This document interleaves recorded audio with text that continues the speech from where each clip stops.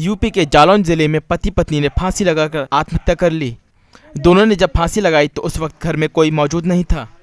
Police मामले को संदिग्ध मान रही है। फ़िलहाल पुलिस पोस्टमार्टम रिपोर्ट का इंतज़ार कर रही है, जिसके आने के बाद ही पूरे मामले का खुलासा हो पाएगा। हाँ ये अभी थाने सूचना दी गई है। मुकेश और उनके पिता द्वारा सूचना दी गई। ये लोग सफ़ाई कर्मी हैं। पति पत्नी दोनों के द्वारा आत्महत्या की बात बताई जा रही है। छानबीन उसकी की जा रही है। फ़ील्ड में भी आ है। अन्य वैधानिक कार्रवाई कराई जा रही है। Okay.